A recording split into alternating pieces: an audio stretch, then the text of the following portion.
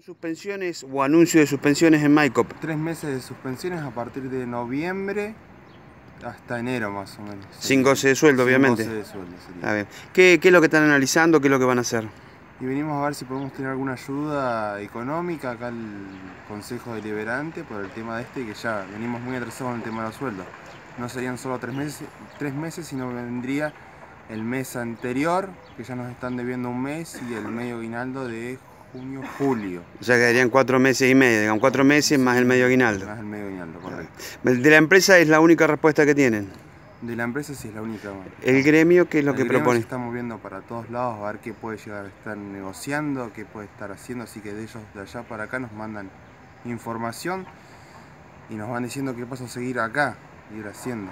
Eh, ¿El poner la planta en marcha no es una opción para ustedes o El sí? tema de la planta en marcha es lo que están queriendo vender la empresa, la empresa está a la venta este, y quieren a ver si pueden venderla o tener un inversor hoy por hoy para Claro. ponerla en, en marcha. Pero esto sería después, en enero. Los concejales, eh, ¿qué, qué dijeron respecto a la situación? Por el momento no lo hemos visto, ahora en un ratito ya vamos a estar charlando con ellos.